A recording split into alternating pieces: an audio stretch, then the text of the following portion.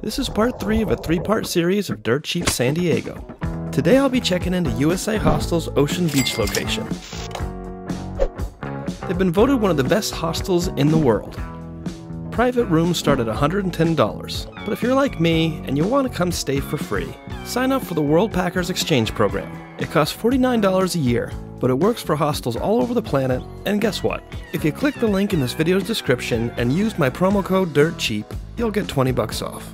Then you can apply to cool hostels like this all over the world to do work exchange. Each hostel has their own requirements, but it's usually 24 hours a week or about 4 hours a day. You can do everything from housekeeping to front desk work to social media promotion. You live in shared dorms with awesome people just like you. And once your four hour work exchange shift is over, feel free to lounge around the hostel, explore the city, go hiking, surfing, whatever floats your boat. Each hostel has its own rules, but you can do a work exchange for as little as a week or as long as six months. Oh, and did I mention most hostels will give you free breakfast as well as two or three free dinners a week?